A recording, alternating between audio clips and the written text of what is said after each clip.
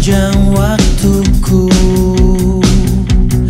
Dan akhirnya hatiku terhenti Saat kau sambut aku dengan cintamu.